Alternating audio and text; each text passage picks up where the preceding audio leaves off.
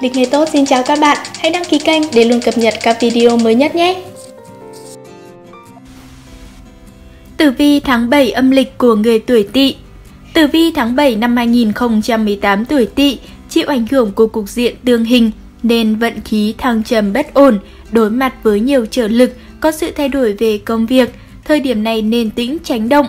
Tài vận tăng giảm bất ổn, thứ tài có lúc khởi vượng, khi thì lại giảm sút mạnh, nên tránh các dự án đầu tư mạo hiểm, nhiều rủi ro.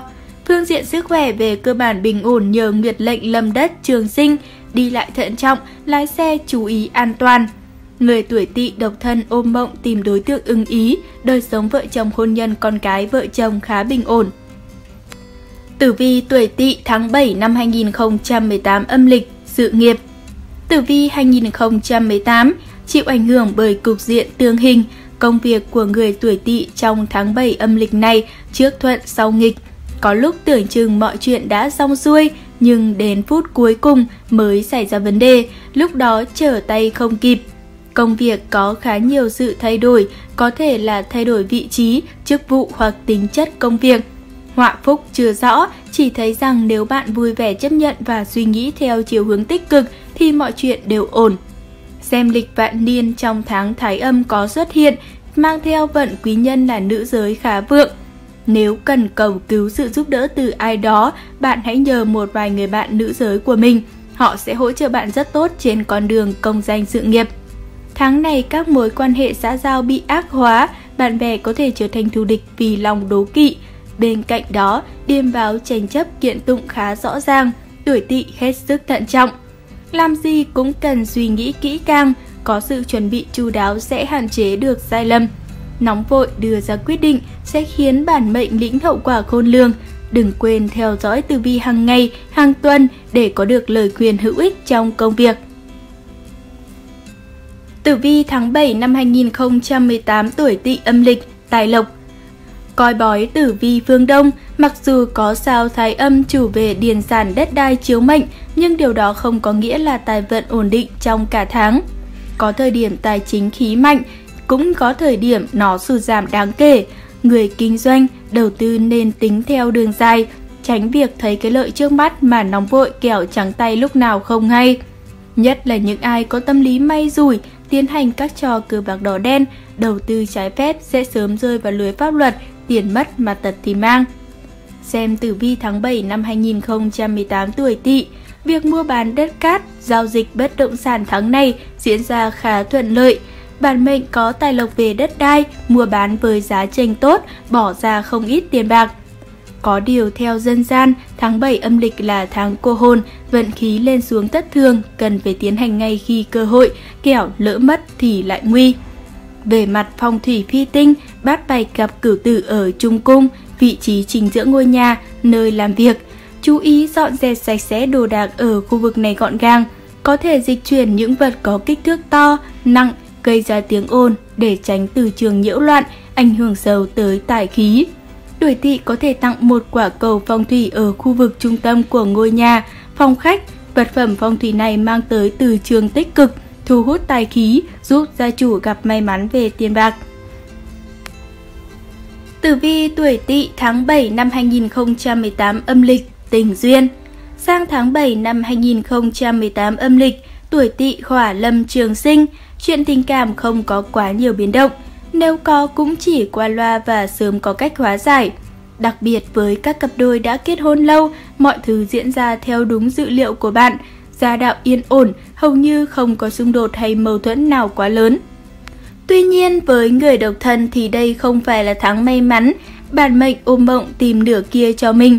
Nhưng sự thật phũ phàng, có lúc tưởng như đã tìm được, nhưng sau khoảng thời gian ngắn trò chuyện, phát hiện đôi bên quá khác biệt nên dừng ngay mối quan hệ. Xem phong thủy phi tinh và lịch vạn niên trong tháng nhất bạch chủ đào hoa tinh bay vào hướng Tây, cùng sinh tương sinh nên đây được coi là khu vực vượng đào hoa. Trai chưa vợ, gái chưa chồng nên đặt một lọ hoa tươi hay những món đồ đôi có màu hồng, hình dáng tròn trịa tại đây để thu hút đào hoa, hóa giải tình duyên chắc trở. Tử vi tuổi Tỵ tháng 7 năm 2018 âm lịch, sức khỏe Nhìn chung sức khỏe của tuổi tỵ trong tháng này bình ổn, hầu như không phát sinh trục trặc nào quá lớn. Nguyệt lệnh lâm đất trường sinh mang theo nguồn sinh khí tốt, có lợi cho những ai vừa mới ốm dậy hoặc trải qua cuộc đại phẫu thuật, sức khỏe hồi phục nhanh chóng. Với các bạn trẻ cần chú ý vấn đề ăn uống khoa học hơn, đi ngủ đúng giờ giấc, không cày đêm quá nhiều kẻo suy giảm trí lực và thể lực nói chung. Người lớn tuổi cần đề phòng các bệnh về xương khớp và vấn đề về tiêu hóa, đi lại chậm rãi nhẹ nhàng, chú ý trước sau, tránh bị té ngã bất ngờ, gây chấn thương nghiêm trọng.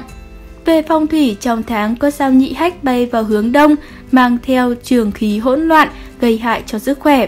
Khu vực này cần được dọn dẹp sạch sẽ gọn gàng, nếu có thể hãy đặt một chiếc hồ lô phong thủy ở đó để giải trừ nguồn năng lượng xấu, đồng thời bảo vệ bạn và gia đình khỏi hung hiểm rình rập. Bản mệnh nên theo dõi nội dung, xem phong thủy hàng ngày để biết ứng dụng phong thủy vào đời sống, giúp du cát, tị hung. Cẩm nang vượng vận cho từng tuổi tỵ 1. Quý tỵ Thủy, nam thủy diệu, nữ mộc đức Khẩu quyết, chú ý dưỡng sinh điều hòa sức khỏe, đề phòng ngã bệnh. Quý nhân, dậu, thân, tiểu nhân, dần, mùi.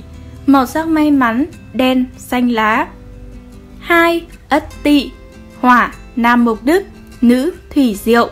Khẩu quyết, quan hệ xã giao bất hòa, đề phòng tai tiếng thị phi. Quý nhân, sửu, thìn, tiểu nhân, hợi, dần. Màu sắc may mắn, xanh, tím. 3 đinh tỵ, thổ, nam vân hán, nữ la hầu. Khẩu quyết, coi chừng xa lưới pháp luật mà dính vào trò cờ bạc đỏ đen, nữ mệnh đinh tỵ đề phòng tai nạn bất ngờ. Quý nhân, tý sửu, tiểu nhân, dần, hợi, màu sắc may mắn, hồng, trắng. 4. Kỷ tỵ, mộc, nam thủy diệu, nữ, mộc đức. Khẩu quyết, tử vi tháng 7 năm 2018 tuổi tỵ, cụ thể tuổi kỷ tỵ, tài lộc biến động mạnh, được mà cũng mất nhiều. Quý nhân, ngọ, dậu, tiểu nhân, hợi, tỵ, màu sắc may mắn, đen, tím. 5. Tân tỵ, kim, nam mộc đức, nữ, thủy diệu. Khẩu quyết, kiên trì tới cùng thì mới có thể đi đến đích thành công. Quý nhân, dậu, mùi, tiểu nhân, hợi, thân, màu sắc may mắn, trắng, vàng. Cảm ơn quý vị đã theo dõi chương trình của Lịch Ngày Tốt. Đừng quên khám phá tử vi tháng 7 âm lịch năm 2018 của 12 con giáp được cập nhật liên tục trên Lịch Ngày Tốt nhé. Xin chào và hẹn gặp lại trong các chương trình lần sau.